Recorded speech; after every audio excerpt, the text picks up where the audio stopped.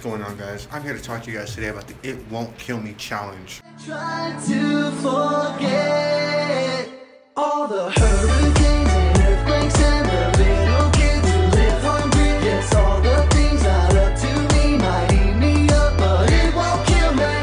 The It Won't Kill Me Challenge is you showing yourself conquering your worst fears. And I'll try, try to forget the hurricanes and earthquakes and the little kids who live hungry. Yes, all the things not up to me might eat me up, but it won't kill me. This next video is fear of Stephen King characters. And I'll try, try to forget all the hurricanes and earthquakes and the little kids who live hungry. Yes, all the things not up to me might eat me up, Upload your challenge videos to TikTok now using the hashtag It Won't Kill Me and stream the song from Evan Safford.